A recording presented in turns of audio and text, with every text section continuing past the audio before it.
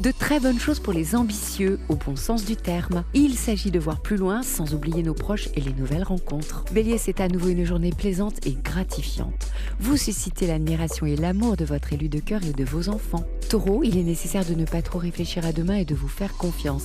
Prendre des risques est indispensable et encore une fois, vous ne le regretterez pas. Vous, natif du Gémeaux, votre journée s'annonce joyeuse, voire festive. Certains prennent la route et cela leur convient parfaitement. Vous avez en fait besoin d'air. Cancer, vous surprendrez votre entourage en réagissant vivement à une situation qui vous déplaît. Le calme revenu, essayez de vous expliquer, vous serez écouté.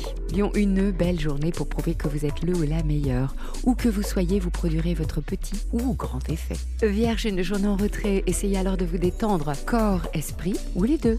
Demain, vous serez prêt, ce sera à vous de jouer. Balance, un événement vous met le cœur en joie. Il peut s'agir tout simplement du fait de vous retrouver en bonne compagnie entre amis, par exemple. Scorpion, vous vous donnez beaucoup de mal pour les vôtres, y compris pour des personnes que vous aimez ou que vous admirez. Mais c'est tout à votre honneur. Cher Sagittaire, l'envie de vous dépayser est encore d'actualité.